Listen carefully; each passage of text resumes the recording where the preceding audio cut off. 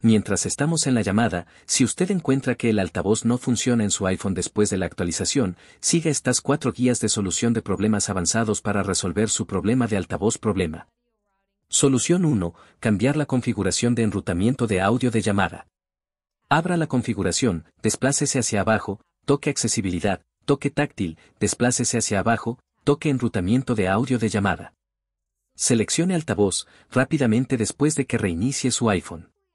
Solución 2. Actualice su iPhone. Vea Ajustes, desplázate hacia abajo, pulsa General, pulsa Actualización de software para comprobar si hay alguna actualización disponible. Si hay una actualización, actualícela. Solución 3. Da restablecer todos los ajustes. Abre ajustes, desplázate hacia abajo, pulsa General, desplázate hacia abajo, pulsa Transferir y restablecer, pulsa Restablecer. Pulse Restablecer todos los ajustes, introduzca su código de acceso. Pulse Restablecer todos los ajustes de nuevo.